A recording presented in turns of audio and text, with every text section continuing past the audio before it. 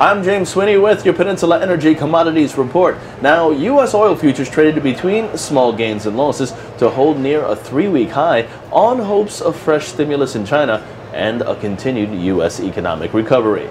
Over at the New York Mercantile Exchange, WTI crude for delivery in May, last trading 101.61 a barrel during morning hours. That's down 0.06% or 7 cents. Meanwhile, gold prices edging higher in cautious trade as the first quarter came to an end with investors looking ahead to key U.S. jobs data later in the week.